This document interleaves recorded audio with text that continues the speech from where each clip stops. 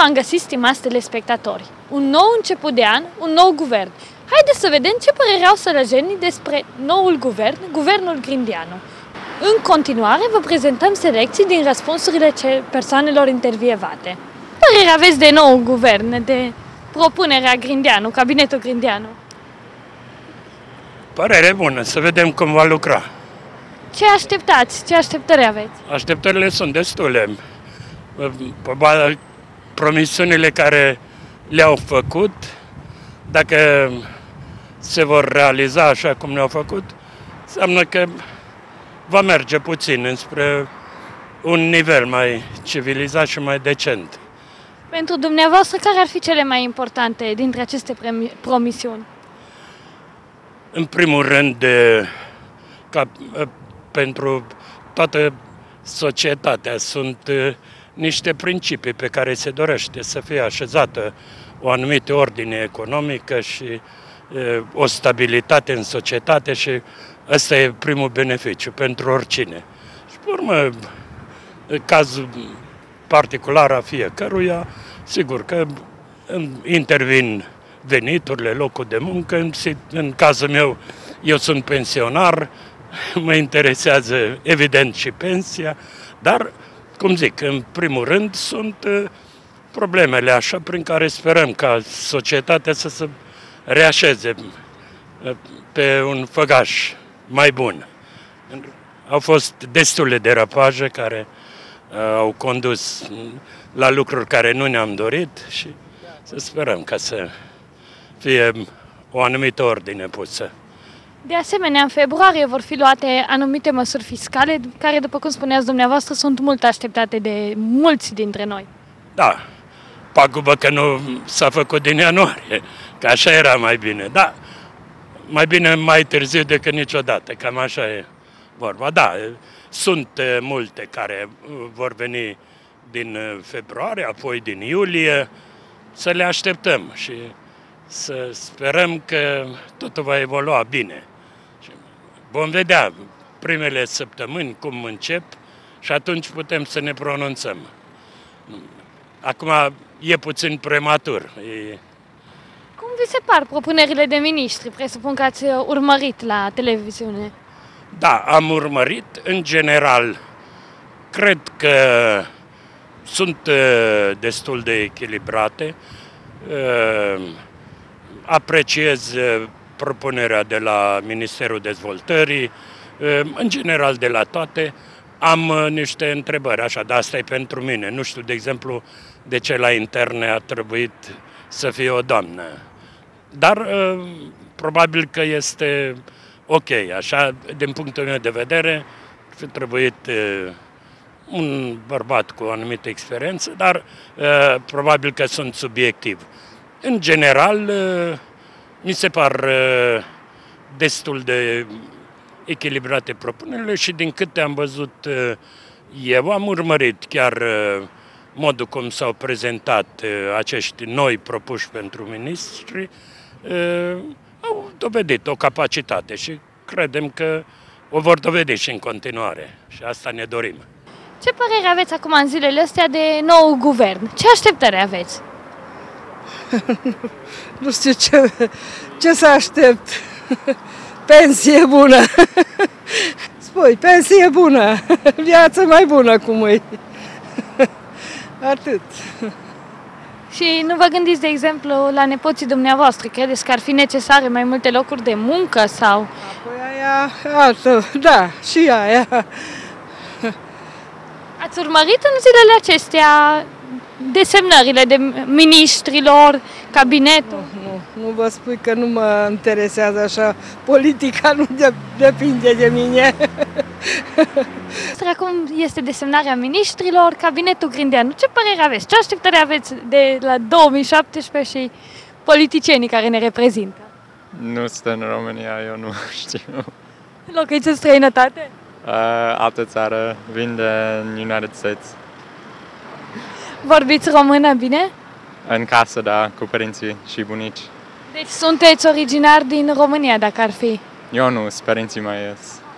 Și cum vi se pare? Care este diferența între cele două țări?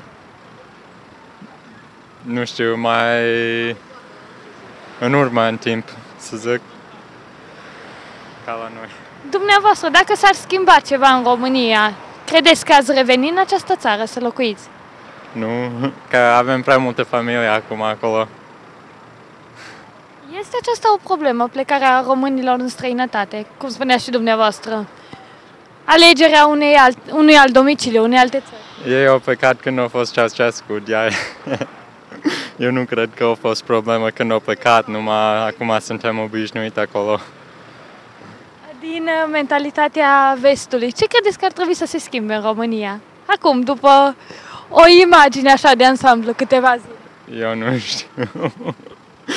Ce părere aveți de guvernul Grindeanu, de miniștrii care sunt acum desemnați și audiați?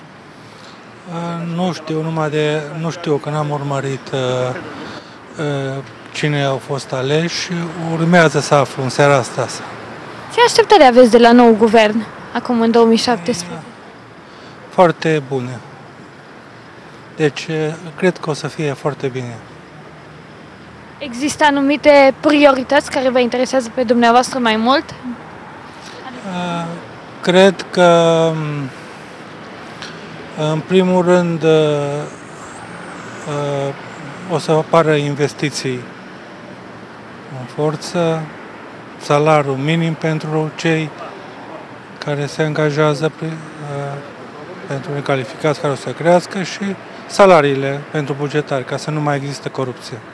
Ați urmărit propunerile de miniștri în ultimele zile la televiziune? Nu, nu prea am avut timp, dar uh, urmează să văd.